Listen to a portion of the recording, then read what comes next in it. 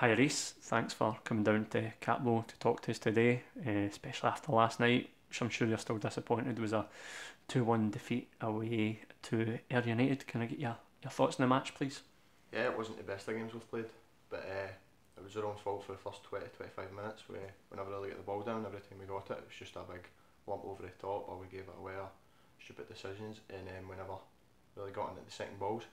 But after that, when we get the ball down and started playing, we started creating a few chances, but then they got a free kick, a silly free kick, ball down the line, and they crossed it in, and uh, we've conceded a penalty, and they've scored, it made it 1 0. And then um, I thought Big Big Nathan's uh, red card was a wee bit harsh, but uh, that's took us down to 10 men, and then I, I've equalised, and uh, we were only 10 minutes to go or something, or something so I thought um, I made a, maybe secured a point for the team. But and then they've uh, just ran down a partner and a line crossed the ball in. Uh, somebody's been pushed and we've conceded another penalty, so uh, it's extremely disappointing to um, lose the three points to the to two penalties. Mm -hmm. You mentioned the the red card. You think that was harsh, Nathan? I thought he played the ball myself. You think it was a, a harsh decision maybe to get a red card at that point? Ah, it was a really harsh decision in my opinion. Um, I think the ball went the totally opposite way, but we just need to move on from it. Nothing we can do now. And that's the thing. You responded really well because from going down to ten men and losing a player, you went and equalised. Aye, you get the goal. Can you talk me through the goal? You must have been pleased with that. Aye, um, Ando had the ball in the line, I think, and uh, he's just crossed the ball and sort of a air player, and then it's felt to Zander, and I think Zander's just flicked it in, and it's just the ball's just come up, and I've just headed it as hard as I could, and it's just looped over the keeper and hit the bar and went in, so I was pleased that point you're probably thinking you've got the point and you probably deserve the point as well. You, think you've got that. That probably adds to the disappointment. Then is I think it's about five minutes later he's conceded the penalty. Aye, I think the third result in the end was a would have been a draw because as soon as we went down to ten men we played extremely well, especially without a man and we, we really attacked. But then the penalty was just just silly, silly, silly decisions from us. But there's nothing we can do. We just need to move on in the next game, try and win. Pleased with the goal though for yourself. Aye, pleased. Aye, I'm always pleased to get a goal. My second goal for for Morton under 20s, so aye, it's good to get score sheet. Header as well. Is that uh, aye, rare? Aye, aye because uh, we always at training we always work on set pieces, headers. Darmar always tells us to get aggressive and go on a header, so I got a header. It's extra special.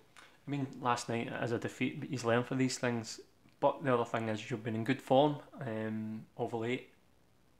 Particularly, there was the St Mirren Scottish Youth Cup game I know that's something you'd enjoyed as a as someone who actually you started your youth career at St Mirren. You've come here. Did you enjoy that game? And uh, how do you reflect on that now? Uh, it was a brilliant game. Uh, I've played um, St Mirren previous with Morton uh, after I left with 17s, 15s, but well, I've actually never won, and um, the experience was just nothing compared to what it was in the youth cup when we won 3 1, and nobody expected to, to go out and win it so comfortably. All the boys were saying each other that imagine me winning that, just having a laugh, and then we went and won 3 1 comfortably. It was good to um, get an assist for the third goal for Ben Armour. It was a very intense game. It was a, it was a derby, basically. It's a derby. How did you enjoy that? Did you relish that? Getting ah, it was brilliant, man. Three red cards and everything. It's just it was, it was a crazy game. Absolute crazy, man. Um, you've been involved here since under 14s now. Um, you signed your first professional contract in the summer there. That's a two year development deal how you find it, how you enjoying it. You're getting quite regular game time for somebody that's just come up for 17s. You're doing really well. How's things going? Yeah, it's great. It's thanks to Dylan Ball for that. Um, I was talking to my dad about fifth, when I was in 17s and talking about coming up and talking about how I just need to keep my head because I thought I was going to get five ten minutes every game. But I've come up and I've a spot in the team and I've been getting 90 minutes regularly, so it's been good for me. Good for my development. And what's the uh, ambitions for the rest of the season? Is it just to keep your place, keep progressing? Because you've got another year after yeah. this as well. Is that just, uh, to just to keep my place in the 20s team and then try and move up to the first team whenever the gaffer thinks I'm ready. Brian Reece, thank you very much. Well done on your goal last night. Unfortunate with the result, but keep going. You're doing well. Thanks. Brilliant.